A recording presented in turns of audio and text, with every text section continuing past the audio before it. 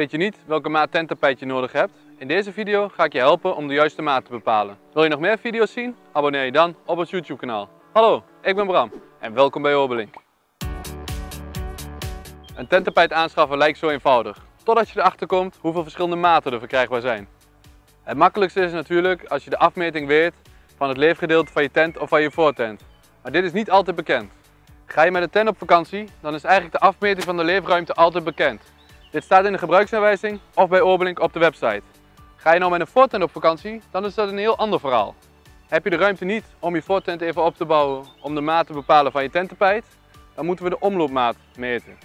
Wanneer we van de omloopmaat 4,5 meter afhalen, hebben we de lengtemaat van het tenttapijt. Wanneer we een omloopmaat hebben van bijvoorbeeld 10,5 meter, halen we hier 4,5 meter af, kom je op een lengtemaat van 6 meter. Wanneer je 6 meter gemeten hebt, doe je er verstandig aan om een maatje groter aan te schaffen. Dit omdat de omloopmaat min 4,5 meter nooit 100% nauwkeurig is. Om de breedtemaat van je tenttapijt te bepalen, moeten we kijken naar de diepte van je voortent. De dieptemaat van je voortent wordt altijd genoemd in de omschrijving. Ik hoop dat ik je nu heb kunnen helpen om de juiste maat van je tenttapijt te kunnen bepalen. Heb je nog meer vragen over hoe je de juiste maat van je tenttapijt moet meten?